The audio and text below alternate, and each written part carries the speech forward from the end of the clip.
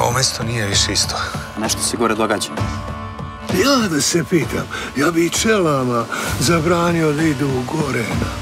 Zabran nekog štiti, a nekog muči. Ne možemo da pobegnemo od zabrana. Nije u pitanju samo zabran, nego i ljudi koji žive u dolu.